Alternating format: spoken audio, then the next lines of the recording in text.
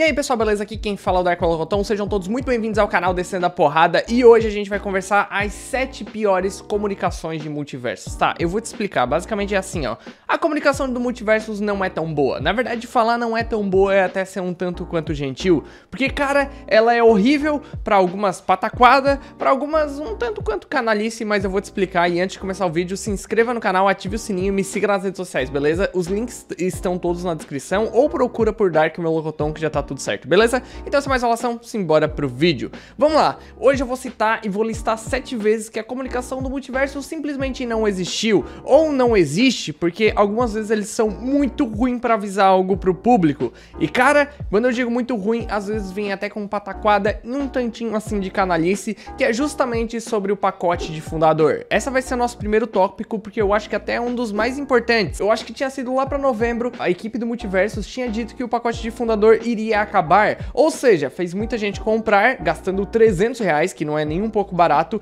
pra ter o seu nomezinho dourado, pra ter a, a telinha ali de fundo e tudo mais. Bom, isso não foi bem verdade, na verdade o pacote fundador segue até hoje. Sim, isso possivelmente cairia como processo, porque simplesmente eles mentiram que iria finalizar, fez muita gente comprar e aí eles estenderam a data sem avisar o público. Simplesmente nunca avisaram, não tiraram da loja e assim se permaneceu. A próxima data para acabar ali agora é o fim da temporada que estamos, ou seja, ali no dia 15 de fevereiro, pelo menos de acordo com o criador do game. Mas assim, eles mentiram, né? Porque falaram que ia acabar em uma data e simplesmente não acabou. Imagina quem comprou, que é o meu caso. Se eu soubesse que dava para comprar depois, pô, eu nem teria comprado, porque o jogo tem tido uma queda absurda. E tipo, muita gente financiou esse jogo para poder crescer e se divertir nele. Mas a partir do momento que você tem data para comprar, você resolve apoiar antes. Se eles esticam a data, você joga mais o jogo e vê que a própria empresa não tá dando muita bola pro game, aí você não apoia. Então, o que eles venderam para pessoas que não iriam apoiar e acabaram apoiando por causa de uma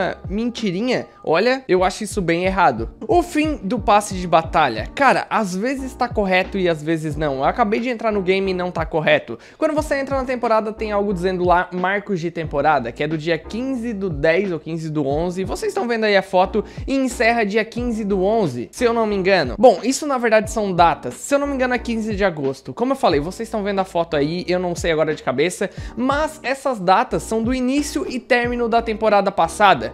A gente tá na temporada 2. E sim, na hora de comprar o passe de batalha, você tá vendo a data falsa. É, coloca aí na tela a data que a temporada 2 vai acabar, porque no jogo não indica. Exatamente, imagina você entrar no seu jogo para comprar o passe de batalha e simplesmente a data de início e término da temporada está errado. Ou seja, você não sabe quando que ela começou e nem quando ela vai terminar. Olha, essa comunicação é digno de... Não sei, mano, é um telefone sem fio isso aqui. Como assim eles não atualizaram as datas? Eu já entrei no jogo e já apareceu a data correta pra mim, mas a maioria das vezes tá mostrando a data errada. Isso sem contar também as vezes que o passe de batalha utilizou itens repetidos, como da temporada passada, que foi a temporada 1. Eles pegaram um item lá da categoria 2 ou 3 por aí e colocaram tipo na categoria 53, que eles tinham colocado três categorias novas. O problema é, o item era exatamente o mesmo. O que mudava era a raridade. Por exemplo, era um fundo que tinha umas poeiras lá e ele era verde, ou seja, a raridade incomum. Aí eles colocaram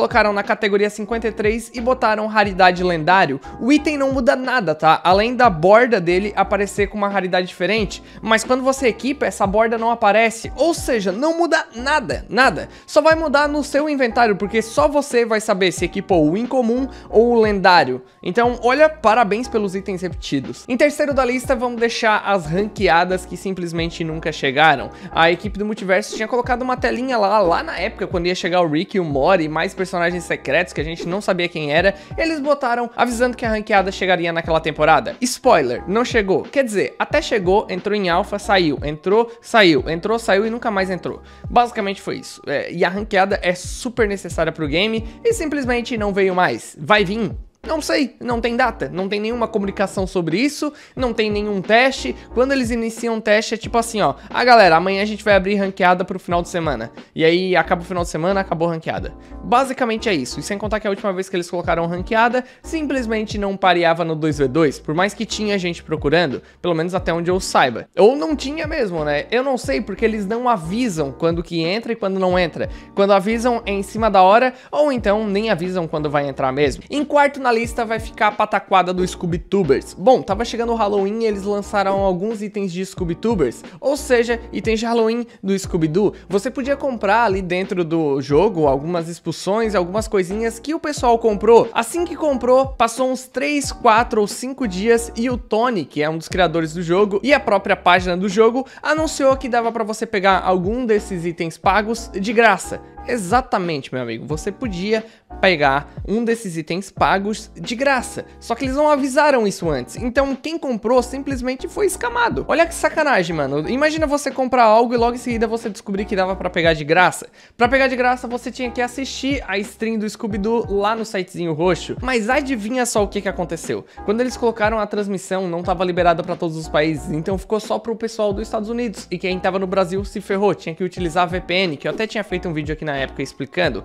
Assim, eu entendo eles não conseguirem cuidar de tudo, dos copyrights, porque não era algo tão fácil de prever, mas pelo menos avisava antes de vender os itens, né, que algum daqueles itens lá que eram pagos seriam dados de graça nessa transmissão, que no caso era uma expulsão de ring. Então, imagina quem gastou 1200 Gleaming, se eu não me engano o valor, sabendo que podia assistir por 30 minutos e ganhar a mesma expulsão. Olha, e quase que eu esqueço de uma coisa do pacote fundador. Existem três pacotes fundadores e você pode comprar o que quiser. O problema é, se você compra o primeiro de 120 reais e quer fazer um upgrade de pacote, não pode. Você tem que gastar 120 reais e se quiser o mais caro tem que gastar mais 300 reais. E detalhe que eu vi que esse pá tem um bugzinho que se você gasta um mais caro de 300 reais e depois você compra um de 200 e pouco, o seu nome não fica mais dourado. Eu não sei se isso continua ou já corrigiram, mas foi meio que no início do jogo um player tinha questionado o Tony sobre fazer upgrade e sobre essa parada aí e ele falou que não tinha muito o que fazer e não tinha muito como dar o suporte. Olha, parabéns. Em quinto lugar, vamos ficar com a comunicação lá dentro da Warner mesmo. Recentemente lançou o filme do Adão Negro e para fazer todo um marketing e tudo mais, a equipe do Multiverso lançou a skin do The Rock, o Dwayne Johnson, no jogo, certo? Não. Eles até lançaram a skin, mas foi depois que o filme passou o hype. Simplesmente ele entrou no cinema,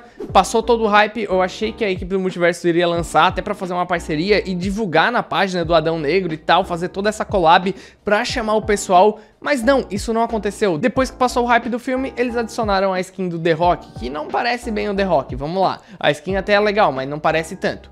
De qualquer forma, o ponto é, por quê? Por quê, cara? Simplesmente, por que eles não fizeram na época do lançamento pra atrair e chamar o pessoal, cara? Simplesmente perderam uma ação de marketing que era certeira. O filme tava em todos os lugares, poderia ter feito essa collab, a página do filme indicar o jogo, o jogo indicar o filme, mas nada disso aconteceu. A comunicação interna da Warner simplesmente foi de ralo. Por quê? Nunca saberemos. Isso sem contar que agora tá rolando o Ano Novo Chinês, e o Ano Novo Chinês, a comemoração do animal do ano é um coelho. Aí chegou uma skin pra quem? O Pernalonga? Não, o Cachorrena. Então, cara, sério, o que que tá acontecendo, mano? É, é um negócio tão óbvio pra mim que, pô, Ano do Coelho skin pro coelho. Até a página Looney Tunes botou ele vestido de ano novo chinês e a skin do Multiversus não chegou, cara. Cara, não faz sentido, mas vamos lá. Texto no lugar aqui na lista ficou sem página brasileira. Sim, o Multiversus não tem uma página oficial brasileira, o que é uma pena, porque esse jogo conseguiu um hype muito grande. Muita gente seguiu uma página brasileira, mas não é oficial. Inclusive eu descobri conversando com eles mesmo, eles até conhecem um pessoal ali na Warner e tudo mais, mas não é a página oficial. Então, se você é brasileiro e quer seguir o jogo e ficar por dentro das novidades, sinto muito. Você vai ter que ver as coisas em inglês ou procurar por páginas nas margens, como uma página de leaker ou coisa do tipo, que não é algo oficial. Cara, eu não preciso nem explicar por que é tão importante tu ter uma página oficial de um jogo, né? Eu acho que não precisa, né? Pra mim é tão básico. Se um jogo quer ser grande e foi grande como o Multiversus foi, infelizmente hoje não tá mais, eu acho que uma página brasileira é o mínimo do mínimo que poderia ter. E em último, para encerrar as comunicações aqui, é a falta de propaganda no jogo. Cara, o que eu converso de pessoas que nunca nem sequer ouviram falar sobre multiverso, às vezes, até que no canal, principalmente na época que ele tava mais hypado ali, muita gente perguntava que jogo era esse, esse. Muitas vezes eu tô em stream e alguém pergunta que jogo é esse, que simplesmente não conhece multiversos. Cara, por que, que não colocou mais AdSense no YouTube? Uma galera comprou os pacotes de fundador, o jogo foi muito bem, tava desempenhando muito bem naquela época de hype total dele. Por que, que não divulgou melhor isso, cara? Divulgar bastante para aparecer para todo mundo. Simplesmente tem gente que nem sabe desse jogo. Eu tenho um amigo que trabalha com videogame e ele não conhecia esse jogo. Tá, ele pode não ser a pessoa mais antenada no mundo, mas assim, ele trabalha com videogame, ele tá sempre sempre por dentro das coisas e ele não conheceu o multiverso. Então o multiverso até explodiu, mas parece que ele explodiu só num nicho e depois encolheu, encolheu, encolheu. É uma pena, cara, porque o jogo é muito bom. Eu espero que eles melhorem 100% essas comunicações do game, que olha, precisa e bastante, principalmente essas paradas de fundador que muita gente comprou achando que ia acabar e simplesmente não acabou. Isso aí poderia até entrar com processo. Ou então o próprio passe de batalha que mostra a data de início e término do passe passado. Assim, é, parece piada, mano. Mas de qualquer forma, quero saber a sua opinião, se inscreva no canal, ative o sininho, me siga nas redes sociais, links todos na descrição. E é isso, valeu, falou e até a próxima. Fui!